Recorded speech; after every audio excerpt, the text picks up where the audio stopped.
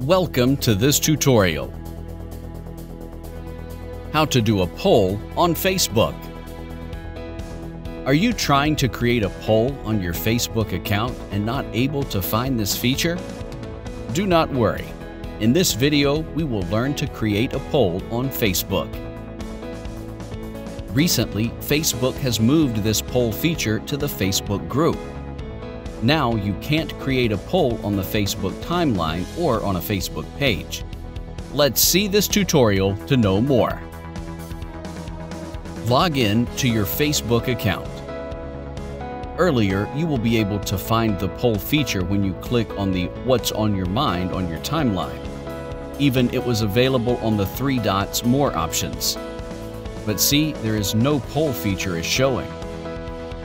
The same has happened to a Facebook page, because now you can only create a poll in a Facebook group.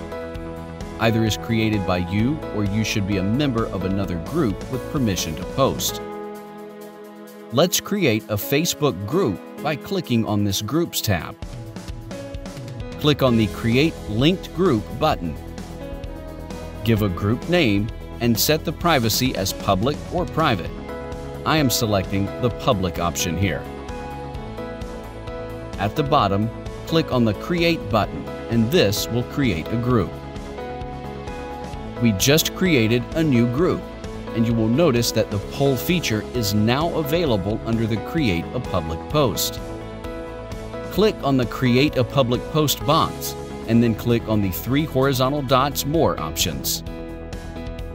You will also find the poll option here. Click on it. Write your question and answer options for the poll.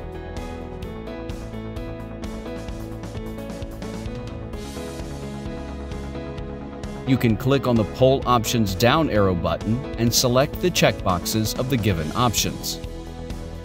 To schedule a poll post, click on the Schedule Post button at the bottom right. Select a date and time for the poll post and click on the Schedule button.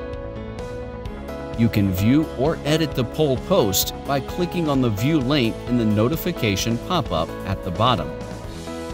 If you want to post this poll immediately, then click on the Post Now button. See, we have successfully posted our poll on a Facebook group. See, this wasn't hard at all. Thanks for watching. Please subscribe to our channel.